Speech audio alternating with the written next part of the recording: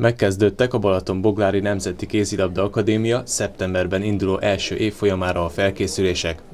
Nagy szeretettel köszöntök mindenkit, szülőket, nekik a legnagyobb érdemben, hogy a gyerekeik itt vannak, úgyhogy tisztelettel köszöntöm a családokat, köszöntöm a megjelent fiatalokat, akik a Magyar Nemzeti Kézilabda Akadémia fölvételére érkeztek.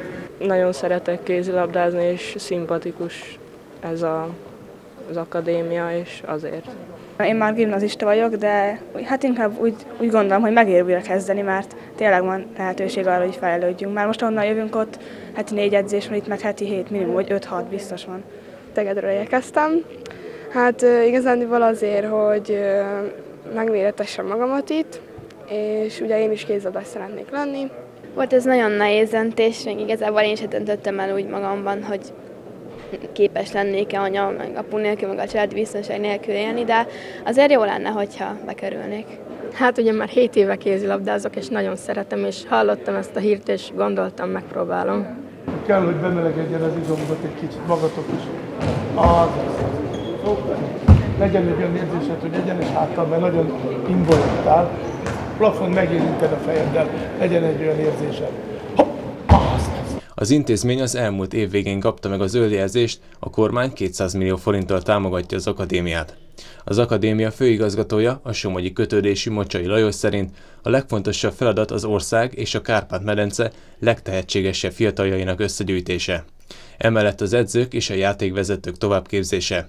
A sportturizmus és a munkahelyteremtés is a célok között szerepel valóban Baglárhoz fog kötődni a Magyar Nemzeti Kézilabda Akadémia, amelynek az a feladata, hogy négy és hat év után közvetlen utánpótlást adjon az NB1-nek minőségi utánpótlást és a magyar nemzeti válogatottaknak.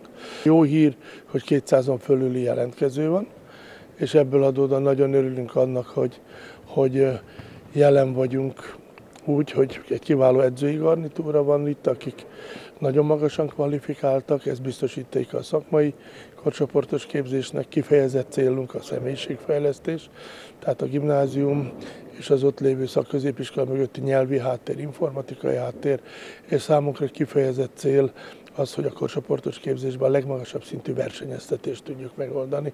Ez a hármas célunk. Itt mögöttünk egy terepasztalszerűen be van rendezve ez a szép csarnok. Ez egy dobóerő, itt ahol állunk, egy dobóerő lövőerő fölmérés mögöttünk fotocellával ragygyorsaság, reakciógyorsaság és futógyorsaság.